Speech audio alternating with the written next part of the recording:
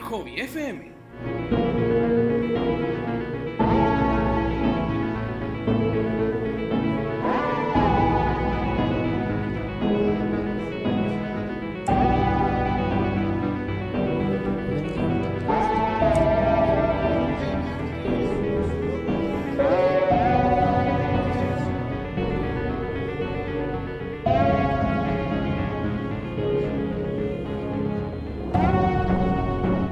Continuación, Monjes Fanáticos por Hobby FM.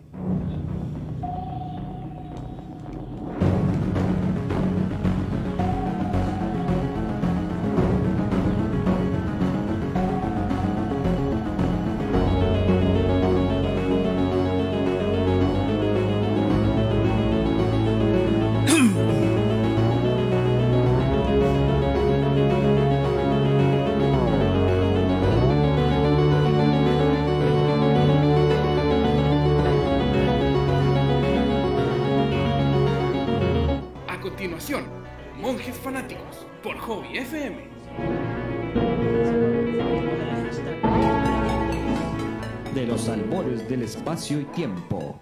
Estos monjes fanáticos transmiten sus oscuros rituales que hablan de cine, Anime, cómics, libros, videojuegos tecnología y muchos temas que a un buen fanático pudiera interesar. cruzando dimensiones, llegan hasta tus oídos. sus locutores Jovito, Gaudí De Lagoon, bienvenidos a escuchar a los Monjes Fanáticos.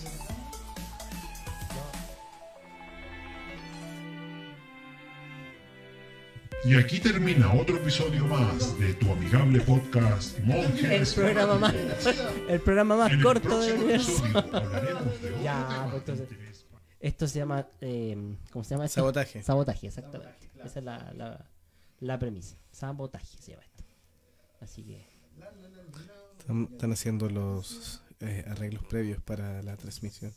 Eh, ¿Cómo estás de la bien, ¿y tú cómo estás, amigo mío? ¿Se Bien, alcanza a aquí escuchar estamos. algo? No sé, vamos a transmitir por si acaso. Sí, pero- por si están escuchando los amigos fanáticos. eh, estamos en un nuevo episodio de Monjes Fanáticos. Claro, con un lindo clip de dos personas que se están parando, congeladas. Sí, No están sé jugando si- congelado ahí Ah, los claro. amigos de Nación Kikipio. Dos, dos, tres móvil. Bueno, ustedes ya vieron, por si acaso, ahí nuestras redes sociales, lo anunciamos. Así que estamos ahí. ¡Estamos al aire! Señor, señor productor, ¿estamos al aire o todavía no? Ah, ya, gracias por la confirmación. ¿Puede hablar por el micrófono nomás si quiere? Ok, muchas gracias. Está bien, no, está bien. Así que comenzamos un nuevo programa de Monjes Fanáticos, esta vez reseñando películas, un, un estreno de- que tenemos de este mes de septiembre. Una película que ya habíamos puesto a votación y que los fanáticos no querían que la reseñáramos, pero como salió la película nueva, la versión nueva de Depredador, vamos a hacer una pequeña resumen de toda la saga. ¿No es así, amigo Juego? Sí, correcto. Em, lo que pasa es que lo, lo hicimos competir con, en su minuto con Terminator. Exactamente, lo- Claro, en la- el mes de junio. Junio. Junio. Julio. julio. Oh, oh, por ahí. Ah, por ahí, por ahí, ok. Y los fanáticos de Terminator ahí dieron paliza al depredador. Así es, Prefirieron a las aventuras de Arnold, aunque aquí también sale Arnold. Eso es lo, lo bueno, sí. Eso es lo bonito, era Arnold como soldado o Arnold como robot del futuro. De hecho, cuando yo les dije, vamos a partir con, con esta saga de Depredador, eh, les dije, hablemos de los Yaujas. ¿Y tú sabías quién eran los Yaujas? La verdad, no. Porque yo soy de, la- de los que ven las películas, pero no tengo idea qué pasó con los Predators. Así que ese es el, asunto. Ahora, los Yauja en realidad son los la raza alienígena que son estos cazadores, que son cazadores estelares, eh, interestelares, perdón, que van recorriendo las galaxias y que después en películas posteriores vamos a darnos cuenta que son una especie de... son ritualistas también, ¿ah? Sí, es una sociedad bastante avanzada dentro de todo, eh, donde prima el, el tema de el cazador como desarrollo social, como eh, cima de la pirámide social de esta raza. Menos mal que no es alimenticia, o sea, no se alimentan entre ellos, porque si no sería terrible. Sí, ahí también hay algunos detalles que dan los cómics, eh, Pero- de cierta forma. Pero en eso entra el otro, la otra franquicia que no vamos a tocar aquí, pero que se llama Alien. Sí, vamos a hablar un poquito de Alien contra, contra Depredador. Claro, Sí, es, no- es es inevitable. que se junten estas franquicias. Pero vamos con la primera, la del La año- primera película es del año 1987 y fue dirigida por John Max Tiernan, quien había hecho, o quien tenía su haber, Duro de Matar y La Casa de Octubre Rojo, por ejemplo. Buenas películas. La Casa del Octubre Rojo, ¿la viste? Con Sí. Sean Connery. Buena, Sí, buena, buena, buena. Entregante la película, sí. Y bueno, y fue el que dio el puntapié a la, a la eh, jungla de cristal, ¿se llama en español? ¿Duro de matar en la primera? ¿Duro de matar? Sí. ¿Die Hard? Sí. Es que tiene, tiene una traducción española que es como algo de cristal. Es bien, a ver si los fanáticos se acuerdan. y- Jungla de cristal, sí. Por Dios, estos españoles y sus versiones. Claro, y en Die Hard o Duro de matar en español. ¿No se le escucha, señor productor? Ah, ya. Don Pepe y los globos estaba hablando. No, No, está, está con eco. Pero ahí él, él, él dirige esta película y volverá a dirigir a Arnold Schwarzenegger en el último héroe de acción. Ahí está. O el último Boy Scout, que también lo llamaron. Sí, en- pero aquí también llegó como el último Boy Scout. Cuando en, la- en el cine me parece que se llama El último gran héroe. Sí. Sí. Eh, la primera película entonces del año 87 es protagonizada por quien ya comentábamos, Arnold Schwarzenegger. I'll be back. Claro, el Grand Terminator en esta ocasión tiene que liderar a unos comandos de élite que van hacia la selva de Guatemala. Ahora, ¿por qué es tan importante la presencia de Arnold? Porque bueno, venía del éxito de Conan y Terminator. O sea, en esta, en esta trilogía o en estas tres películas es donde Arnold Schwarzenegger forja su fama de héroe de acción y donde le da cierto sustento de actuación. Son películas bien recibidas y que, y que están eh, bien llevadas a cabo, donde la, la- la acción es un punto fundamental. O sea, era la, la época de Terminator, eso es lo que pasa.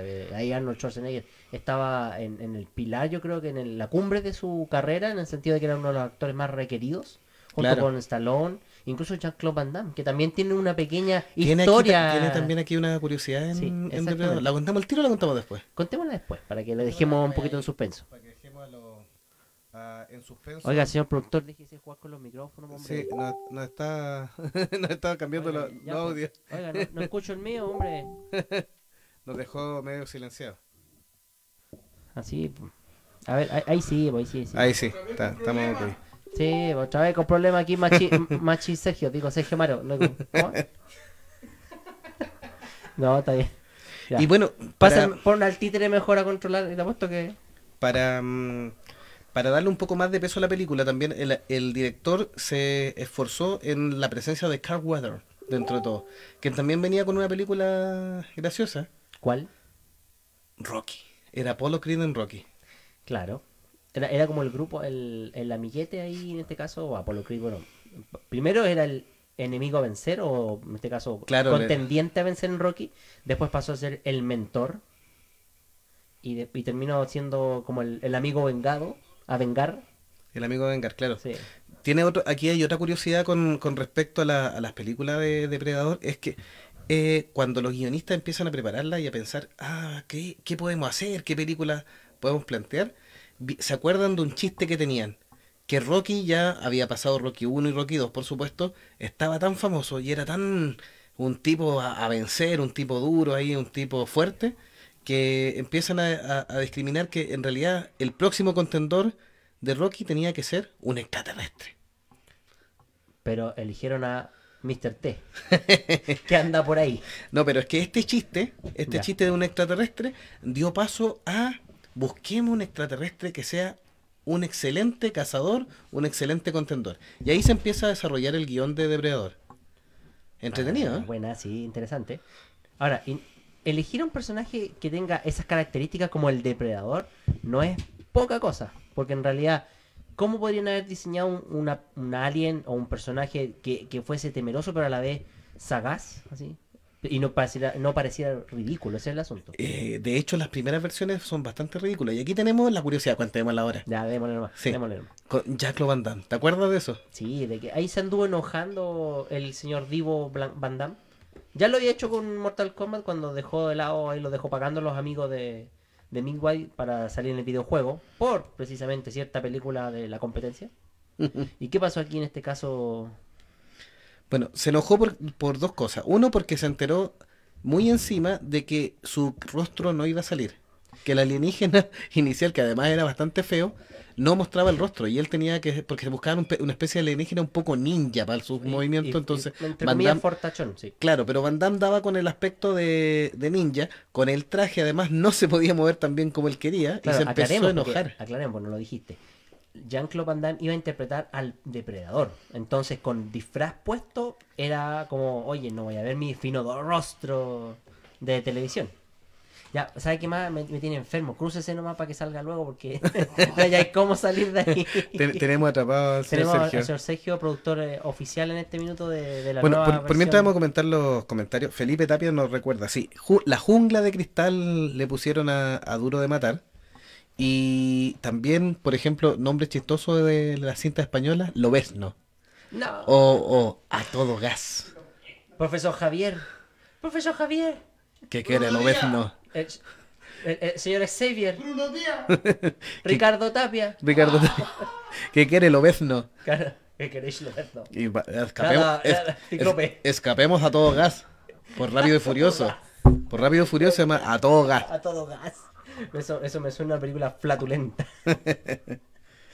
Bueno, y finalmente eh, Jack Van Damme es reemplazado porque además tiene la, mm, la noción de que en, durante el rodaje dicen que a propósito, em, a propósito, ¿cómo se llama? Daña a uno de los especialistas en la grabación. Le, le pegó. Sí, sí, eso cachamos. Ese es el asunto. O sea, el tipo como que ya, ¿saben qué? Me quiero ir de esta película, así que como que empezó a hacer mala leche. Y al ser mala leche, el tipo ya, por ejemplo, trataba mal a los productores, trataba mal a sus compañeros del elenco, eh, no duraba mucho rato con el disfraz puesto, y más encima, claro, pasó que terminó agrediendo físicamente a un asistente ahí de, del estudio. Bueno, finalmente remueven a, a Van Damme y el actor Kevin Peter Hall, que habrá interpretado Pie Grande en la serie Harry y los Henderson, una serie bien emotiva donde una familia ahí a- recibe a Pie Grande, que es un Ah, bonachón. adopta, sí, sí, sí. Pero ahí hace de bueno, pero acá sus 2 metros 20 de estatura le ayudarán a representar al, al depredador. No, y de hecho en las Va a quedar bien imponente. En las escenas que sale junto cara a cara con Arnold, que Arnold también tiene un metro noventa y algo. Claro, o sea, si no me de hecho, de hecho Van Damme era más chico, lo cual dificultaba un poco el tema. No lo hacía tan imponente como... Además que era como un pato. El, el tacón. Era, era como una especie de extraterrestre con cara de... o forma media de pato. Era bien complicado. Claro. O sea, yo creo que por eso al gran parte de la película aparece con el casco primero, que es Mm. como la idea de, de mm, representarlo como de malo, pero no tratando de sacrificar eh, algo tan eh, elaborado. Sí. Pero De- sería idea del director después, de, de, Tim- de uno de los directores influyentes en este tema. de que me parece que es Tim Burton. No, James Ah, Cameron. perdón, James Cameron, lo estaba confundiendo. Sí. De ponerle un rostro más. Lo que pasa es que empiezan a buscar a distintos especialistas en, en efectos especiales, en, en monstruos y todo. sí. La, el- la elección número uno era Kevin Baker. Eh, un tipo maravilloso y todo, pero no lo logran contactar. Entonces finalmente se quedan con Sam Winston, que estaba trabajando con James Cameron Mm. en sus otras películas. ¿ya? Ahí recordemos que está Terminator, está Aliens con James Cameron. Y finalmente eh, eh, él empieza a desarrollar el, el nuevo prototipo del depredador, digamos, del, del monstruo o, del, o de la raza extraterrestre. Y dicen que cuando él tenía los bocetos listos y estaba viajando de vuelta para allá a unirse a la filmación, James Cameron dice, siempre aquí me llama la atención que no le hagan unas buenas mandíbulas al, al depredador, Con buenos colmillos. unos buenos colmillos. Y ahí aparece y le hace una transformación Stan Winston, que él siempre ha reconocido que esa, ese, ese comentario de James Cameron lo llevó a, a modificar un poco el diseño y lo hace con estos Como eh, una. como esta quijada, esta mandíbula extendible. extendible, y, todo, y que le Sí. da gran parte de la magnitud que tiene el, el depredador. Sí, porque no lo hace ridículo, pero lo hace a la vez. Pero temible también, sí. Temible, sí, sí. Y con otros elementos que están muy bien llevados. O sea, es un tipo orgánico que usa elementos tribales y que le, y que le da la visión de que es un cazador. sí. Aquí tenemos también eh, la música compuesta por Alan Silvestri de Volver al Futuro, ¿Mm? esa gran banda sonora. O Iron Man 3, que después tendríamos. Perdón, no, Forrest Gump, el Capitán América. Sí. También. Esos son parte de las De las bandas sonoras bandas que sonoras que echan tiene Silvestre. Alan Silvestri. Y que la verdad no, la música no pasa muy desapercibido. Aquí yo creo que es uno de los eh, elementos flojos de la película. No, no tiene como un, un tono característico que uno diga, ah, esa película es depredador. No es tan característica, pero es bastante buena. Tuvo buena acogida, sí. Sí, sí. Pero en ese sentido, las bandas sonoras de esa época, del ochenta y tanto hasta pasadito del 90, trataban muchas de imitar Star Wars en la música, pero nu- casi Claro, nunca lo lo lograron. O sea, es- claro, y las que eran más de más como más oscuras trataban de irse como a la onda de lo que era lo que fue la Alien. Claro, música como ambiental nomás. Mm. poner un poquito de efecto para el Sí. suspenso y todo, pero El otro actor que era importante en esta, en esta primera película es Shane Black. ¿Por qué? Porque él era guionista y actor. ¿Ya? Ya, bueno, ya futuro director, con obras buenas y malas al mismo tiempo. Pero ¿por qué es tan importante? Porque Shane Black, además de actuar, fue llevado como soporte para el director en caso de que ne- necesitara hacer algunos cambios en el guion. Y además, eh, es un tipo que está muy relacionado con la saga Depredador y es el director de la nueva. Que ya vamos a comentarla al final y toda la recepción que ha tenido, que ha sido mm, más de agraz que de dulce, pero él es un tipo que está muy relacionado con la saga de Depredador. Y, y también ahora ha dirigido una buena cantidad de películas. Algunas buenas, como te señalaba, y otras malas. Kiss Kiss Bang Bang, una película que tiene una muy buena crítica. Eh, dos chicos simpáticos, o The Nice Guys, que con Russell Crowe y Ryan Gosling. ah, esa más última. Sí, buenísima, es una comedia negra bien buena. Pero también es el, el director de Iron Man 3. Uh, ahí se cayó feo, ¿ah? Sí, por eso eh, la, la, la saga ahí de, de Shane Black es de dulce y agrasa al mismo Sí. tiempo. Pero yo creo que, bueno, Iron Man 3, en lo personal, yo creo que le hicieron por man- aprovechar la, la fama nomás de- del personaje, porque lo que es historia y lo que es el villano, uh, mejor sigamos con Depredador. Sí, mira, te, te- te vamos a contar la, la historia. La historia es un grupo de un comando que van a la jungla de Guatemala. Tienen que ir a rescatar supuestamente a un tipo, un diplomático que está allá. Y cuando este grupo de fuerzas especiales, liderados por Arnold Schwarzenegger, en el papel de Dutch, Dutch Schaffer, Alan Dutch Duffer. eh, sí, em, tiene que llegan a, a la zona donde están los y se encuentran con una matanza muy extraña, con cuerpos desollados y todo. En Y pedacitos, mutilado, claro, sin cabeza, ese es el tema, sí. Entonces, eh, y no encuentran al político, por supuesto. pues. Entonces empiezan a, a deambular por la jungla y se topan con un grupo que está, un grupo de nativos, digamos, de, de la jungla y de Guatemala. Bueno, supuestamente Guatemala, porque lo filmaron en, en México. Y ahí viene otra característica especial. Los actores dijeron siempre que ellos no fueron a filmar una película. Fueron a filmar casi un documental de sobrevivencia, porque lo pasaron pésimo. Eh, Arnold Schwarzenegger se enfermó del estómago por comer en, en México. Eh, entre medio se casó también Arnold Schwarzenegger, entonces tuvo que pasar parte, como ya tenía compromiso, tuvo que pasar parte de su luna de miel filmando. Así que el- ahí el depredador tenía doble, ¿cómo se llama esto? Misión por lo- de cacería por los dos lados, en De la vida cacería. real y en la película. Claro, así que, bueno, y ahí se, es- ellos van, van a la jungla, descubren este campamento que tenía presencia soviética, terminan enfrentándose, por supuesto, y los nativos le empiezan a hablar de, una- de un extraño ser que obviamente le dan características que es como un demonio.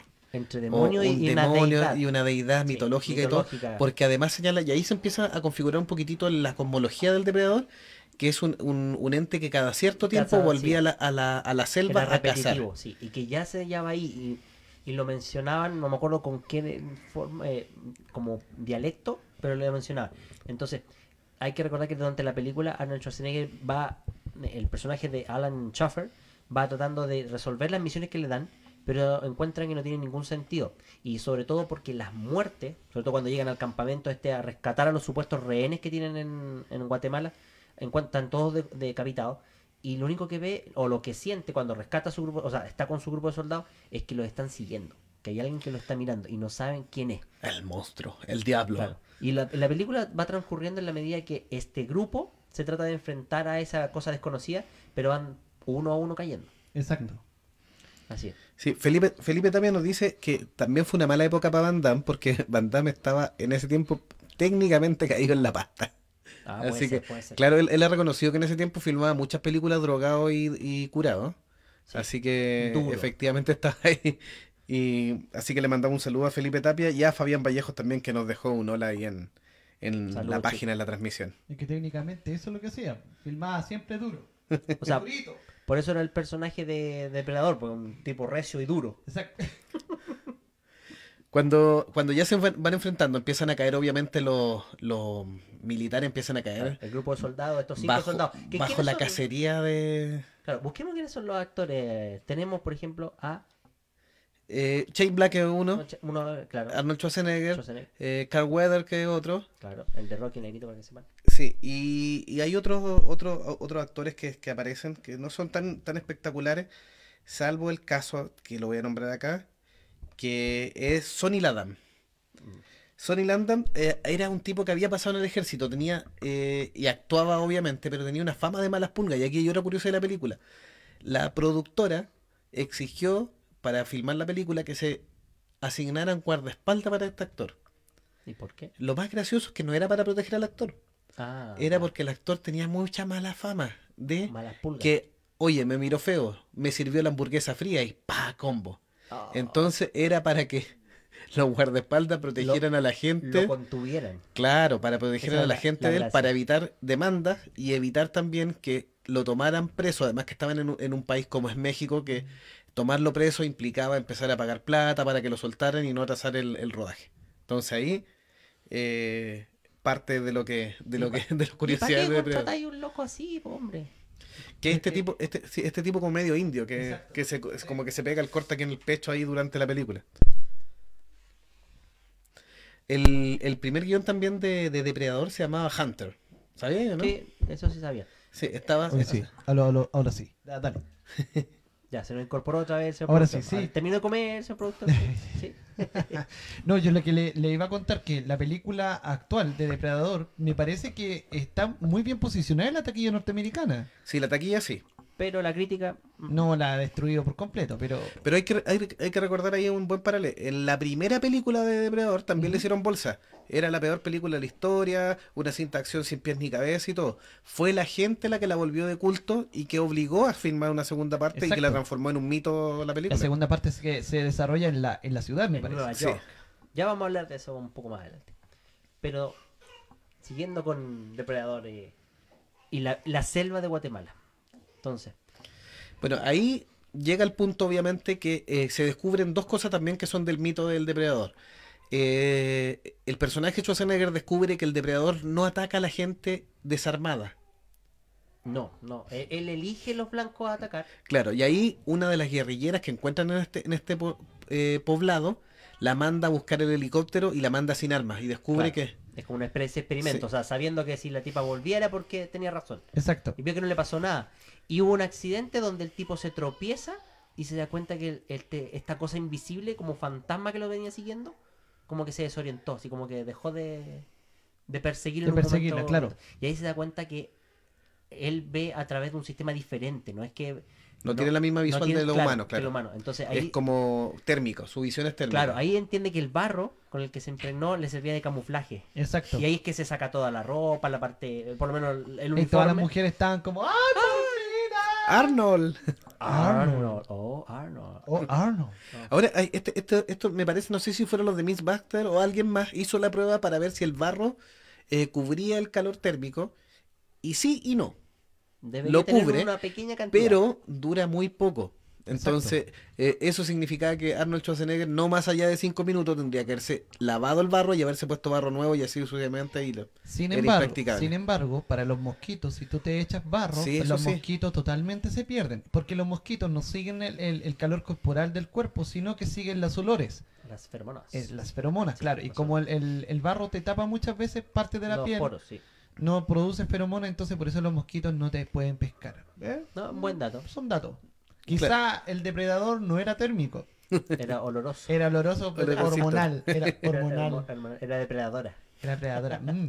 Mm. Bueno, después, después las- en la segunda parte también hace una aclaración, porque la primera que, que hay un hilo suelto de que el depredador igual logra, si tiene versión te- visión solamente térmica, eh, logra esquivar trampas en algunos casos. Entonces ahí le hacen al- un agregado a la cosmología del Ah, sí. depredador de que no solamente ve en visión térmica, sino que también ve como en rayo X.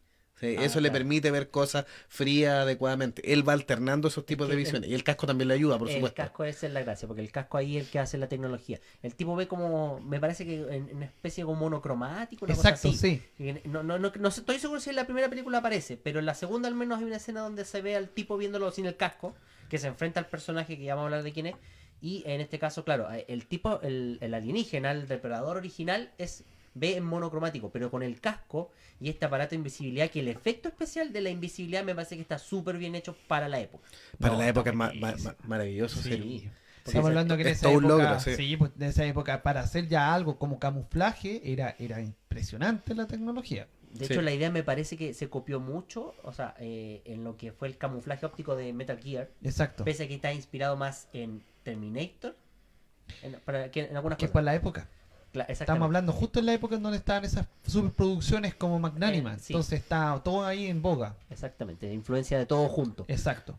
Bueno, y pa- para arreglarle un poco el final, obviamente Arnold termina derrotando al, al, al depredador, quien obviamente que tiene un código de honor, también aquí lo empieza a vislumbrar en la primera película y el Exacto. tipo cuando se ve derrotado se vuela. Exacto. ¿Con pasta? Con la que dejó- no, con la recuerda que- que... ya no era Jean-Claude Van Ah, Damme, no, no, entonces verdad, ya no pues, era. verdad, a esa no altura era. ya se Con- había ya, pasado a- claro, Kevin. Con la que dejó Jack Van Damme. Ah, ya, verdad. claro. Bueno, y, bueno, y ahí vendría la segunda película, Depredador 2, que ya se mueve al año 90 y dirigida por Stephen Hopkins, que a, a su haber tiene solo haber hecho Pesadilla 5 como algo llamativo. O sea, un director bastante medio pelo comparado con el, con el Ahí, primero. ahí viene lo que decías tú, po, como los fanáticos levantaron esta secuela, básicamente ya hagámosla para ver si alguien compra o vaya a ver esta película, entonces pongamos quién quiere hacerla y ahí se levantó. Exacto. Claro, y como, como había cierto resquemor, obviamente que no quisieron invertir mucha plata y Arnold les estaba cobrando ya mucho dinero. Es que ya. Por eso queda, que e- esa es la verdadera razón de por qué queda fuera de esta secuela, que finalmente terminaría con Danny Glover, que estaba en Arma Mortal, em, eh, protagonizando la película. ¿Y por qué? Porque fue una oportunidad para que Danny Glover protagonizara, porque siempre había estado como coprotagonista o como de actor secundario, no muy la importante. oportunidad. Y lo hace bien, ¿no? en realidad. ¿eh? El papel es simplecito porque tampoco es que tenga un gran desarrollo el personaje. No, Estamos para hablando- nada. Estamos hablando acá, en este caso en Nueva York, de. En la ciudad de Los Ángeles, se mueve a la ciudad de Los Ángeles. De una lucha entre policías y narcotraficantes. Exacto. Ese es el conflicto eh, en la parte mediática, el, el- el ambiente. Y esta lucha es- es- se ve enrarecida, por decirlo de alguna forma, por la presencia de un misterioso asesino que los eh, decapita a primero los, Los desolla. y los desolla, claro, es el tema, la, la crueldad y el gore con el que eh, este asesino eh, se su- encarga. se encarga de, de, de, de sus víctimas. Claro, pero después ya la película empieza a matar policías. Exacto. Y ahí está el tema. Entonces, ¿qué pasa? Primero, los policías investigando, oye, hay un asesino de narcotraficantes, bacán, ya, ok. Pero Sí, ¿qué pero pasa? ahí también te dejan en claro de que eh, los depredadores se iban a los lugares donde había más acción bélica. Sí. Porque eso es lo que en le los llama... barrios donde había los conflictos Exacto, entre los policías y, y- Cuanto más bélico era, mejor para el depredador Exacto. porque mejor se podía camuflar entre medio de tanta matanza, entonces podía por los dos lados. Sí. Y De- siempre se iba con los más fuertes, y eso era Sí, siempre... va- de hecho va matando los carteles uno a uno. Eh, hasta llegar a los jefes de cada cartel. Del, era el cartel de Colombia y el de Jamaica. Exacto. para- sí, sí, me acuerdo haciendo película. buena publicidad también ahí a los carteles colombianos. Sí, actuarían los actores latinos María Conchita Alonso y Rubén Blades. Exacto. Que Rubén Blas hasta el día de hoy tiene Sí, salen, algunas sa- apariciones por salen ahí, de ¿no? Fear of the Walking Dead. Sí. Sí. De hecho, eh, María Conchita Alonso, después de un tiempo que perdió, fue como la, la se pareja... Era la verdadera latina del momento en ese tiempo. Era Sí, latina del momento y a la vez era la pareja se- eh, habitué de eh, eh, Ar- eh, Arnold Schwarzenegger. Porque salía también, por ejemplo, en, sí, po. en en-. ¿Cómo se llama esta la, la que iba a Marte? Se me olvidó el nombre. Ah, la... Eh, eh, Time Recall. Em, Total Recall. sí, Total Total Recall. Recall. Pero no me acuerdo en español cómo le llama. En esa salía también... eh, El Vengador del Futuro. El Vengador del Futuro, Esa, sí. Y me parece que había otra película más también que salía con María Conchita Alonso. Que como dices tú, era la, la latina del momento. Me parece que era el último gran héroe, parece que también aparece Me ahí. parece que también que también sí. aparece sí, ahí sí. como la, la, la ni- parece que era la madre del, del cabro chico que se mete a la, a la cinta del cine. Parece que sí, parece que Parece que sí. Sí, por eso digo, sí, en, en es- en los- a finales de los 80 y 90, al principio, eran, la, eran la pareja. Era del la cine. pareja, claro. sí. Eh, eh, Fabián Vallejo nos pregunta si esta es la, la película que impulsó la carrera de Arnold. No, No. el estricto rigor es Terminator. Exacto. Esa sí que es la que impulsó. Pero es la gran. eh, Cuando uno habla de la historia de, de- en, en esos años 80, eh, Arnold Schwarzenegger tuvo en estas tres películas importantes que fueron Conan, Terminator De hecho, Conan fue la y. primera. Sí, Conan fue la primera. Fue la primera. Conan, Terminator y después. Claro. eh, Depredador. Conan tuvo un éxito mediano, pero le sirvió precisamente para mostrar a Arnold Schwarzenegger. Terminator, ahí hubo un, un- en, en Roque, que lo hablamos en su momento, porque Terminator, eh, Schwarzenegger no era el papel de, iba a ser el papel de, de, de Connor, de John Connor. Ah, sí. Ah, en- eh, perdón, de, de Carl Rice, perdón. Sí, El- de Carl Rice. Y no el del Terminator. Y resulta que por su porte y el tamaño, por supuesto, obviamente, ahí decidieron cambiarlo por el Terminator, lo cual propulsó finalmente la carrera y lo hizo con- mundialmente conocido. Exacto. Y la tercera película vendría siendo. ¿Cuál? Eh, Depredador, sí. Esa es como la, la película que lo, lo dejó ahí. Pero Es que- tampoco pero tampoco vendría siendo como la película que lo, lo- lo destaca. ¿sí? No, no, después tiene, tiene otro éxito. O sea, Total Recall eh, es una buena película con Schwarzenegger y tiene varias, varios éxitos ahí en ese, en ese Sí, tiempo. sí. como héroe de acción antes de ser el Governator. El Governator. El Governator. Ahora hay un cómic también que es muy bueno de Depredador que sale con Batman. Depredador versus Batman. No sé si lo han, Sí. lo, lo han leído. Bastante entretenido, bastante bueno.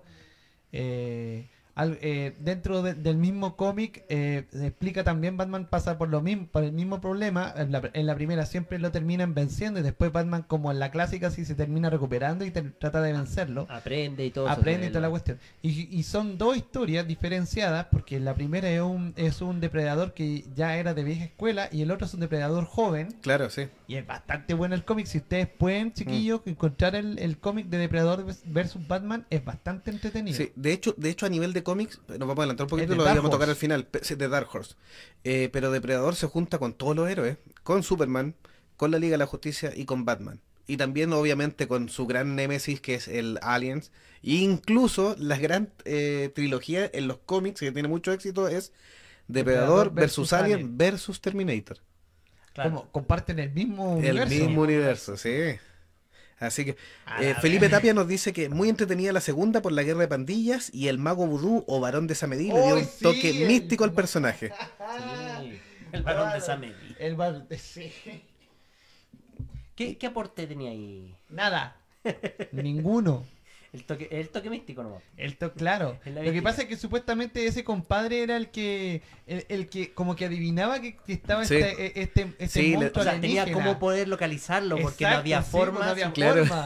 Por sus poderes vudú, sí. Claro, sí, de hecho, acuer- piensen que el camuflaje de, de- depredador en este caso es no solamente visual, sino que también térmico. O sea, si usaban la misma tecnología térmica para trata- tratar de reconocerlo o de encontrarlo, no lo iban a hacer. No, Nika. Nica. Sí, y, a- bueno, y aquí aparece otro punto dentro de las características del depredador como tal, que es el tema de mm, que tampoco ataca a las mujeres embarazadas.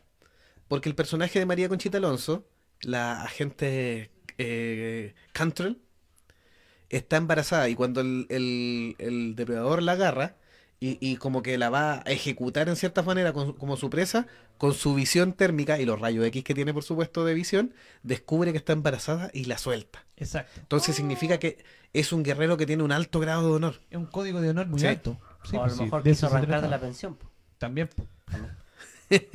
Claro, como sabes tú, hoy no, me va a encaletar la boba. No, permiso. Exacto, mejor no. Aquí me voy. permiso. Aquí me voy. Dejo esto y retiro lentamente. Hola, ¿qué hace? Hola, ¿qué hace? Bueno, y el personaje de, de Da- Danny Glover eh, obviamente termina venciendo al depredador también.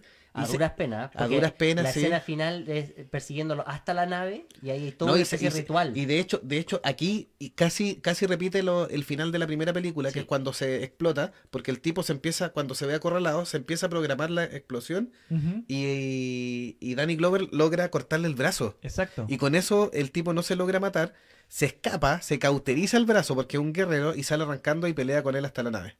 Claro. Y ahí descubren que hay una nave escondida ahí en Los Ángeles. ¿no? Y ahí aparecen más, porque resulta, como bien decías tú, Sergio, al principio, esto es un grupo de depredadores que tratan de, de meterse en las distintas bandas, eh, cazando cada uno por su lado. Y se encuentran al final reuniendo alrededor de- del personaje de Danny Glover y este cazador primario que trataba de sobrevivir. Y cuando eh, Danny Glover le termina ganando la partida, venciéndolo y derrotándolo, él pensaba que ya estaba frito porque ah, se revelan los otros depredadores, dice, no, aquí ya soné porque Ya, ya era. Fui. ya son cinco contra uno, ya fin. Buenas noches, nos vimos. Claro. Y resulta que los tipos que lo que hacen así como, oye, eres bacán, Va, toma. eres- Claro, Y le entregan el arma así. exacto. ¿cachai? Sí, y ahí, sa- ahí sale otro, otro punto de la, de la mitología del depredador que se llaman los notables, que corresponde a seres de otras razas, particularmente humanos, que es donde están las, las películas, que son tan notables como guerreros que la misma raza los reconoce, los hace como miembros honorarios, del clan Exacto. sí, y po. por ende pasan a, a tener la misma, no en exacta igualdad de condiciones, pero muy alta categoría el dentro de los depredadores y ya no son presas nuevamente. No, No, Están jamás. prohibidos cazarlos. Jamás. Eso lo mismo lo explica en el cómic. Vuelvo a insistir. El cómic de Batman, véanlo y leanlo porque es muy bueno. Y, y de verdad eh, es uno de los pocos cómics de Depredador que a mí por lo menos me encantó. Sí, buenísimo. Ahora, Yo soy mi- Batman. ahora mi pregunta es, eh, Danny Glover, estamos hablando que Danny Glover igual había tenido éxito Con arma mortal, sí. pues. exacto Sí. con Arma Mortal. ¿Y, ¿Y por qué acepta Depredador 2? Eh, ¿Por qué? Porque le dio la oportunidad de ser él el protagonista absoluto de la película. Porque en Arma Mortal es Mel Gibson. Él es, es el, sí. El, patiño, el patiño de Mel Gibson. Me encanta esa palabra patiño. Sí. El patiño de Mel Gibson. Entonces, aquí él era el protagonista. po. Ah, Por eso, por eso toma la película. Central, sí. De hecho, de hecho, en la carrera de Danny Glover le to- eh, ha hecho buenos personajes secundarios, pero siempre secundarios. O Claro. de acompañante.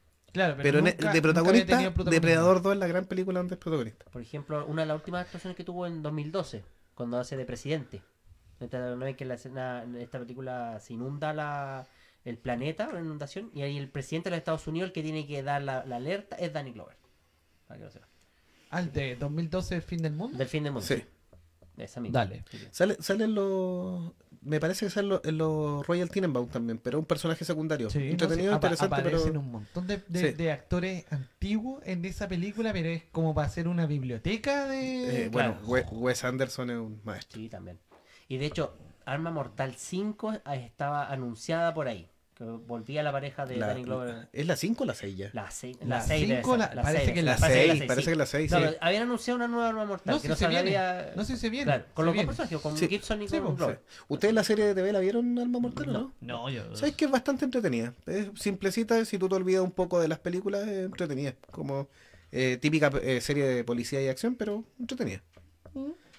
Vendría entonces en el año 2010. Aquí ya pasó mucho agua bajo el río con el personaje. Y VHS.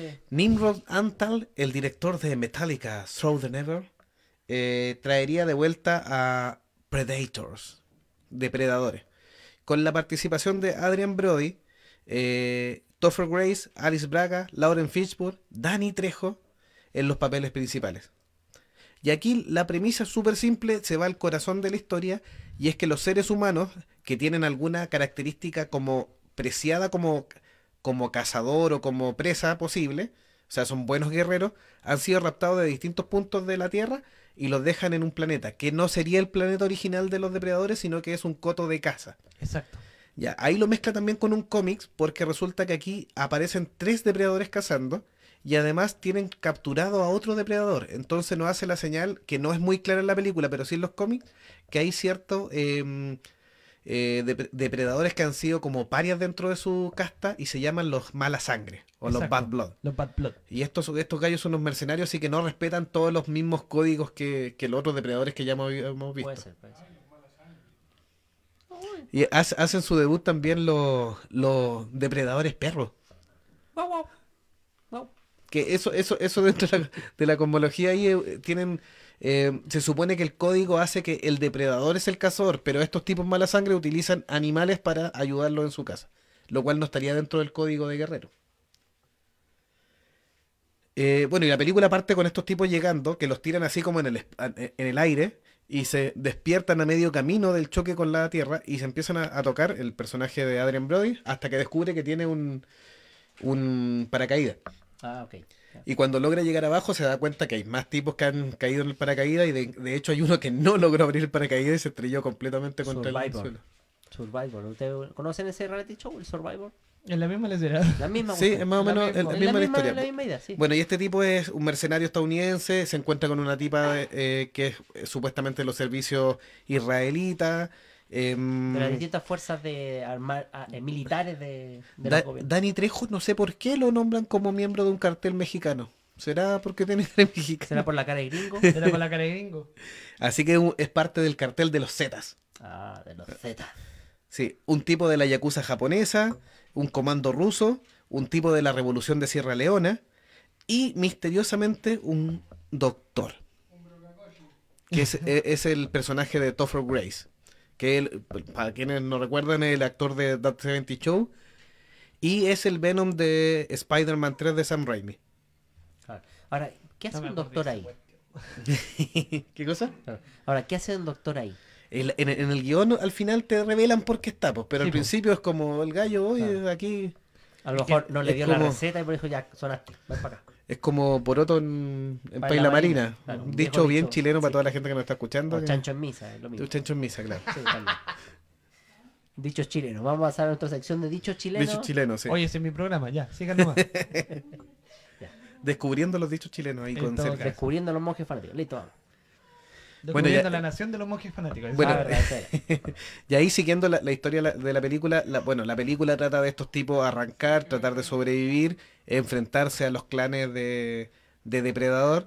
Y ahí descubren que tienen a otro depredador prisionero y lo tratan de liberar porque ah, dice, bueno, el, el- el enemigo de tu enemigo es, tu amigo, así que lo tratan de liberar para ayudarlo. Pero no le resulta muy bien al Es que parecer. van bien al principio, cuando ya quedan tres personajes solamente, las israelitas, eh, el norteamericano, Adrian Brody, eh, el doctor y, el- y este depredador. Y obviamente llega el último depredador que quedaba de los mala sangre y se enfrenta al otro depredador, lo termina matando, pierden su oportunidad. Y ahí se revela la gran gracia. El doctor en realidad era un asesino en serie, se dedicaba a matar a sus pacientes. Era un, un, doc- un ángel de la muerte. Así se le Sí. llama a los doctores que matan a sus pacientes. Ah, buena. Así se le... ¿En No, serio? sí, sí, cacho, sí. Y, incluso hay eh, en la historia, eh, hay, el más grande ha sido un alemán que iba, que más encima cuidaba a abuelito.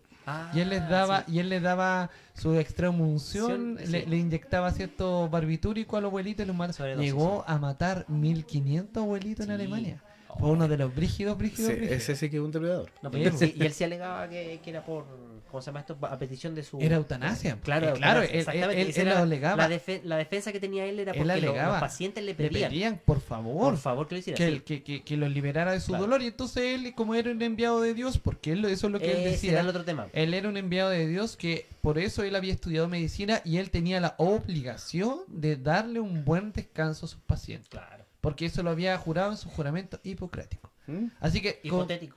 y, co- y corresponde tal cual como estamos hablando ahí de, de- de este, De, de de este- este doctor, sí. Claro, porque ahí tú, tú, tú te das cuenta de que hay un diferente eh, sistema, claro, de matanza, Sí, porque tú muchas gracia, veces, sí. tú muchas veces pensé que es puro, puro patadas, combos, disparos, que era lo habitual en las películas norteamericanas, y de repente te presentan que no, po. puede ser el compadre que está al lado que te puede estar vendiendo una pizza, en la noche puede que, ah, Claro, venga con, con algún añadido extraño. exacto. No. Así que bueno, y ahí ya nos saltamos a la película actual que estrenaron este, estos meses, eh, que es El Depredador. Y dirigida por Shane Black, eh, protagonizada por Boy Holbrook, Olivia Munn, eh, Jacob Tremblay, que es el niñito que aparece en, la habitación, Ah, Yvonne Straboski, que sale en la serie Chuck o en El cuento de la criada también, Alfie Allen de Game of Thrones, Thomas Jane, que es el Punisher del cine, el- bueno, de la primera. Y obviamente está dirigida por Shane Black, que está muy relacionado. Y como les comentábamos, para no adelantarle mucho la historia, este es un nuevo grupo de soldados que por algún motivo tienen relación con este depredador y con, con este nuevo depredador que nos muestra el tráiler. Porque ya nos muestra que hay una como una pseudo evolución, es como un Uruk-hai de. De- sí, del Señor de los Anillos, eso, sí. En realidad eso, sí. O sea, sí. esta película se supone Es que como pa- está es como en la segunda parte, en la continuación directa de la primera. De, no, No, de la segunda, sí. la Desde la segunda? correcto, Sí. sí. De la Ah, segunda viene directamente esta. En la historia se salta eh, depredadores. Depredadores la, la, la ponen en el futuro más, Ah, eh, más allá. Esta estaría entre como la 2 y depredadores. Exacto. pero es después de la 2. Y mm, la recepción que ha tenido hasta ahora la taquilla y los comentarios no alcanzamos a ver para poderla revisar completa. em, es lo mismo que le pasó a la 1. Es que mala, pésima esto, pero la taquilla lo ha ido acompañando Lo que de muy es buena que- manera. Que Yo- sí. tengo- del Yo, personaje. yo tengo amigos que son seguidores del personaje y dicen que tiene demasiadas papitas, demasiadas guiños de las películas anteriores. Que- Y sí, hablan mucho de las películas anteriores. Entonces eso es lo que llama la atención del fanático. El fanservice. Claro, es que eso es lo que pasa. Si cuando tú eres fanático de un, de un videojuego, película, lo que sea, tú gozas con eso. Sí, O sea, eso es verdad. Tú, tú gozas con esas cosas Esa porque, porque muchas veces tú vas al cine a ver una película X y de repente que te hablen de, una, de un tema que a ti te gusta, tú dices, puta que bacán la pel-". Aunque después la crítica la destroce, porque el tiro de cámara era feo, porque el guion no se entiende. Pero tú entendiste cada una de las palabras, cada movimiento del personaje lo entendiste tú. Sí, dicen que tiene muchos guiños a la, a la A la, historia. a sí. la historia, sí, Sí. es increíble. Y, y- y por eso le gusta tanto a muchos amigos míos que son fanáticos, fanáticos, fanáticos de, de Depredador. Dicen, no, es la mejor película. Incluso sé por ahí que el personaje ahora está invitado en algunos videojuegos de pelea. Sí, Así, sí. así de grande ha sea- pasado su popularidad. O sea, de hecho, en, en Mortal Kombat, en Mortal Kombat 10, aparece el depredador. Bueno, también te ha invitado a Aliens ahí. Sí, es su invitado. Así que imagínate. Ahora, Alien y Depredador van de la mano. Sí, porque ahí vamos a cambiar, ¿no? a, a- a través del cómics y de los videojuegos eran dos rivales que eran las dos eh, Franquicia franquicias más importantes de extraterrestres Sí, y que se podían enfrentar. O sea, se supone que Alien es el extraterrestre eh, letal perfecto y el depredador es el cazador perfecto. Entonces eh, tenían que enfrentarse. Xenomorfos contra aliens. O sea, Xenom- perdón, xenomorfos contra depredadores. Claro, sí. Y ahí, bueno, los juntan en los cómics, teniendo mucho éxito. Como les comentaba, también estaba hablando Sergio y, y de la delante. Eh, hay distintos cómics con, con Batman, con Superman, con la Liga de la Justicia. Y, y en particular el que tuvo mucho éxito, obviamente, es Depredador vs. Alien. Y teniendo unos juegos de arcade bien interesantes, de estos tipos eh, Sí. beat, beat 'em- Beaten up. Beat- beat 'em up. beat 'em up. Eh, donde tú tenías para elegir dos depredadores, el cazador y el guerrero. Sí. Eh, que, bueno, Mongicónico nos mandó un videito hoy día, lo estuvimos viendo para recordar el juego. Y tenías a, a una teniente oriental y a un eh, soldado alemán que es como el, el de la primera película. Y los vas eligiendo y vas peleando en, Claro. contra los aliens y contra distintos elementos que te van apareciendo en la pantalla, así como del tipo. mm, eh, bueno, 'em. O sea, acaba con todo. Ah, pe- pelea y Agarra- sácale la cresta a todo el mundo todo que que está en la pantalla. claro, todo lo que la- pilles es pegable. Es claro. sí. Claro, y obviamente que es, eso no se podía quedar acá y tenía que llegar al cine y nos trae en el año 2004 dirigido por Paul W. S. Anderson, el mismo de Resident Evil, que algunos lo odian, pero no logra una tan mala película, es una película entretenida, yo la he visto varias veces, después de que no me gustó la primera vez, a la larga me, eh, me, me he pillado que me, quedo pegado viéndola, porque no, no es tan mala. Y además que lo que tú comentabas también, Sergio, tiene muchos guiños a las dos series. Sí, po. Eh, Es y, que eso es lo que y te te, va pesca, entregando, sí, te va entregando guiño. Y además que Paul W. S. Anderson no tiene un gran guion, pero es respetuoso con las franquicias, porque te entrega elementos clave Exacto. sin eh, intentar cambiarlo, sin decirte, hoy mandó a la cresta lo que me contaron en Alien 3, ¿cachai? O en Alien 2. Es que- O, o Depredador Es que 2 la me película, queda. la película sí. es básica, es el asunto. Por eso, para mucho, o para la crítica especializada, por ejemplo, puede ser fome. Alien versus Depredador te muestra lo que te- quieren ver los fanáticos. O sea, en este caso, ¿cuál es el origen entre esta rivalidad? Porque se va desentrañando en la medida que van peleando. ¿eh? Porque hay alienígenas, que es- el grupo humano que se encuentra Exacto. eh, a estos alienígenas. Y, y qué pasa con los depredadores? ¿Y cómo es que los depredadores se, se- se meten en esta historia? Una pregunta aquí en redes sociales, pregunta Fabián Vallejo, dice, ¿qué otros villanos con código principios famosos existen? Eh, bueno, uno de los más famosos es Aníbal Lecter. Cierto, Sí, cierto. sí, por eso ayuda Corleone a, a- también. a- Corleone, sí. Corleone también. Sí, pero Aníbal Lecter por eso ayuda a, a Claire a encontrar a otro psicópata.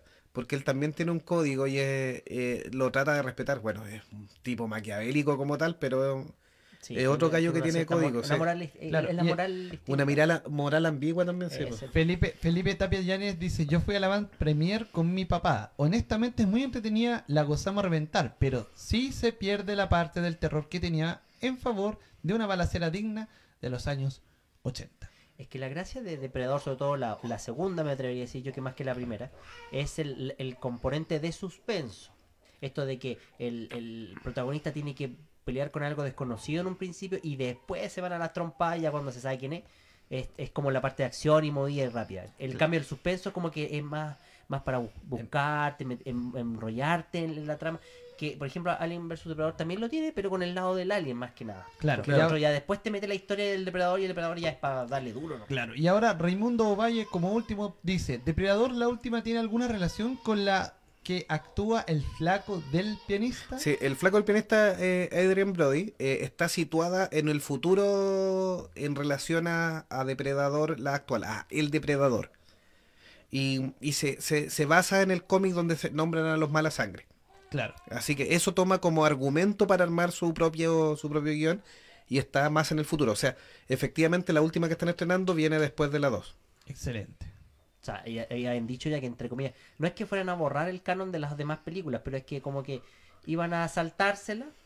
De- el, creo que el lector Chen Black dijo que iba también a tomar algunos elementos nomás, que fue lo que han comentado ustedes, De la mitología, sí. de la mitología, Sí, sí. pero no iban a hacer caso un poco de lo que pasó antes. Sí, de, de hecho él aclaró bastante porque como están muy de moda estos eh, reboot, eh, eh, borrón y cuenta nueva, como lo que va a ser Terminator eh, la Seis. próxima, O Halloween 4. O Halloween 4 que también... ¿Cuatro, sí. Sí, que van a hacer eh, un... También un borrón que es sí, continuación directa de la codo, segunda claro. parte. Entonces, él, Shane Black aclaró ¿Tienen algún bastante... problema lumbar chiquillos? Sí, que con el codo ahí va borrando. eh. No. Oye, no, atrás 3, 3 tú, no, Halloween 3, no, no te metas. Así que ahí es parte de lo que está pasando hoy día con la nostalgia, el fanservice que están metiendo en el cine, en los videojuegos, para que vamos a decir.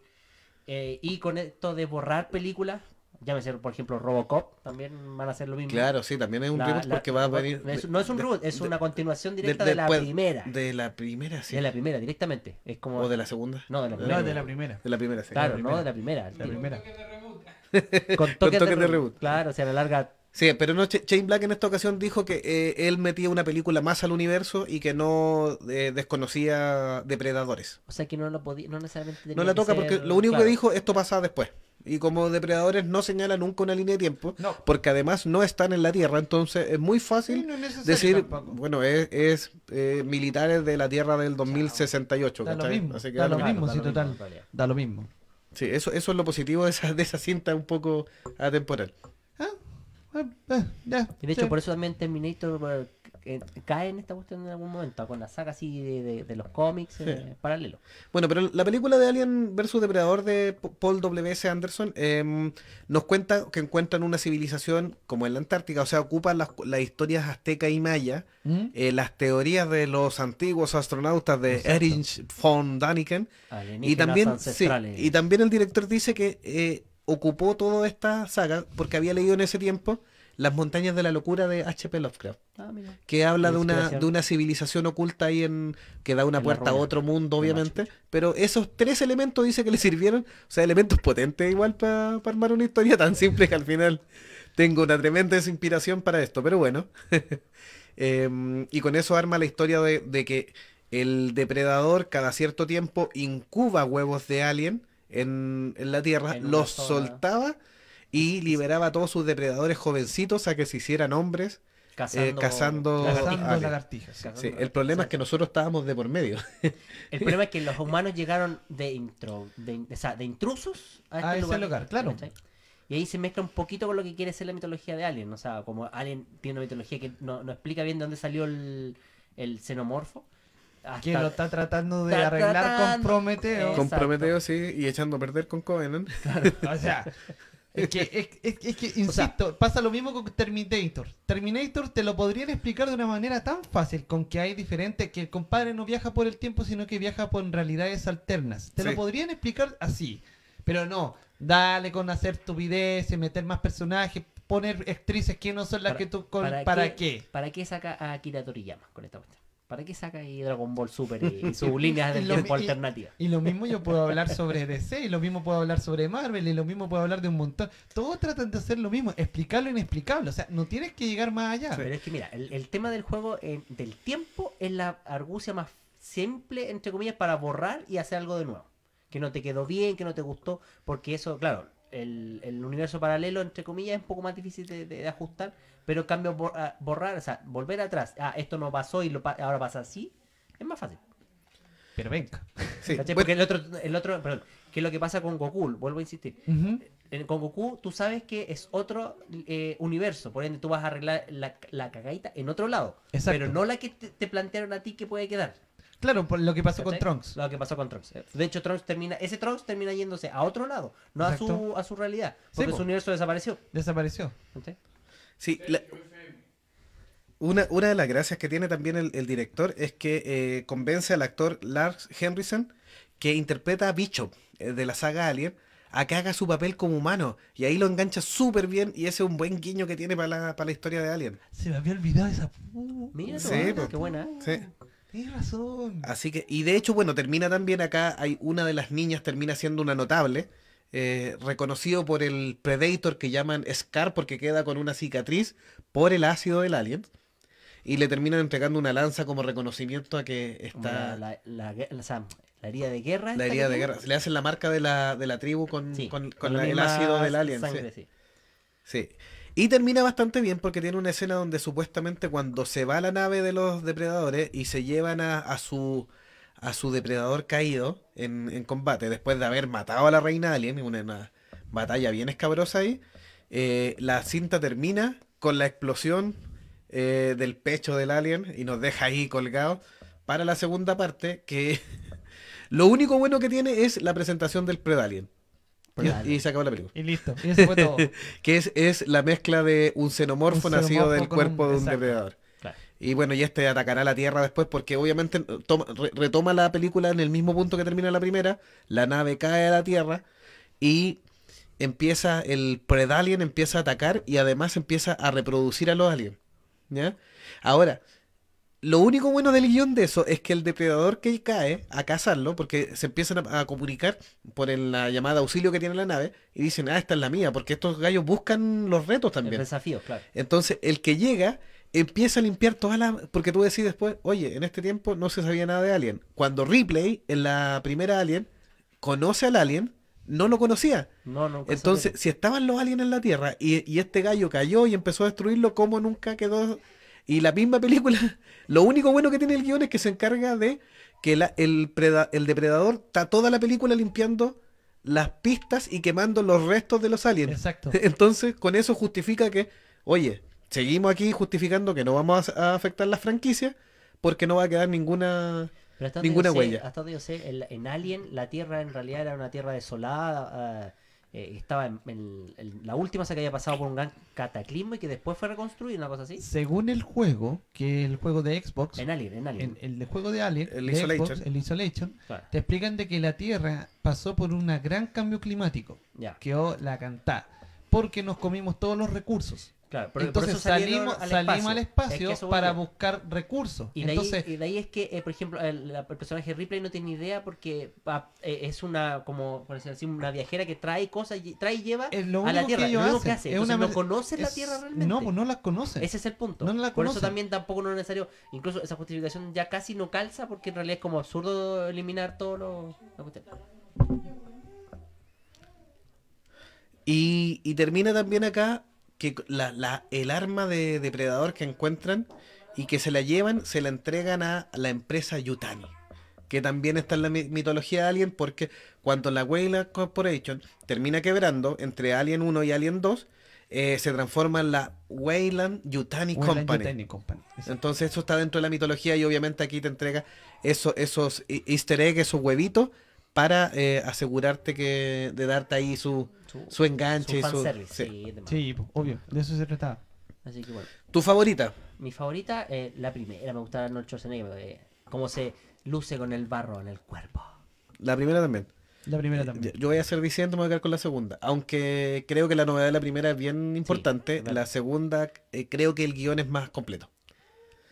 Así que no la dirección misma, porque en realidad es, bien La- simple. Las escenas son bien simplecitas. De Sí, hecho, pero la- los tiroteos son buenos. Es el la- problema de la segunda es que está bien armada hasta el, casi el final, donde tú de repente no te das ni cuenta que cómo es que de la ciudad terminaron peleando en una nave extraterrestre. Exacto. Sí, Pasa de golpe y borrazo, entonces... sí, van cayendo como, ah, está, está en el oh, oh, subsuelo. oh, nave. Entonces, ay, que, ay, me perdí, ¿dónde fui? Fue al baño, no, no alcancé, pero... ¿cómo? Entonces, queda como súper colgado en esa escena y como que ahí te, te, no te cuadra. Claro, o sea, ll- llega ahí un momento en donde que hay como, ya, ¿y qué pasó ¿Y qué aquí? pasó? Claro. ¿Qué pasó? Ahora, la introducción de la mitología me parece que es mejor en la 2. De la mitología del, del, del, del Yautja, ¿no Del? Yautja. Del Yautja, perdón. Claro, es mejor en la 2 porque te, te enriquece mucho más que lo que es el depredador como tal. En cambio, en la primera te presenta a un ser alienígena superior capaz de matar gente, pero no es tan invencible. Exacto. Así que bueno. Saludos finalmente a nuestro amigo del Facebook. Sí, a Felipe Tapia, a Fabián Vallejos, a Raimundo Valle que nos estuvieron escuchando y mandando mensajes. Muchas gracias por su sintonía. Eh, a Max de Nación Kikiview también que, que nos dejó un hola. Hola. Eh, a Gabriel que dice que se pasó del otro programa, así que también le damos un, un saludo ahí por Muchas gracias y bienvenido compartir Gabriel en este super domingo. Acuérdate, los super domingos desde las 6 de la tarde. Sí, y recuerden que todos los episodios de Monjes Fanáticos disponibles en www.monjesfanáticos.com. Así, Así es. que Y el tema para irnos enganchando para la próxima semana, el Super Domingo, va a ser o un videojuego. Ya que. A, a solicitud de un fanático, Sí. eh, un fanático de México, no me acuerdo el nombre ahora, pero Sí, no, nuestro eh, fanático de México lo teníamos en carpeta, así que vamos a cumplir, em, ya que nos mandaste un correo, así que lo invitamos nuevamente. Quien quiera algún tema en particular, mandarnos un correo a monjesfanáticos.gmail.com o en las redes sociales eh, que ya les hemos, hemos así, dado. así que Saña, videojuego Metal Gear. Así que, Así bueno, que- nos despedimos. Hasta la próxima, señora. Estimados, saludos, Sergio. Gracias a todos. Chaito. Chao amigos. Chao, chao. Hasta un nuevo episodio de Monjes Fanáticos. Adiós. Saludos Gaudí. Y aquí termina otro episodio más de tu amigable podcast Monjes Fanáticos.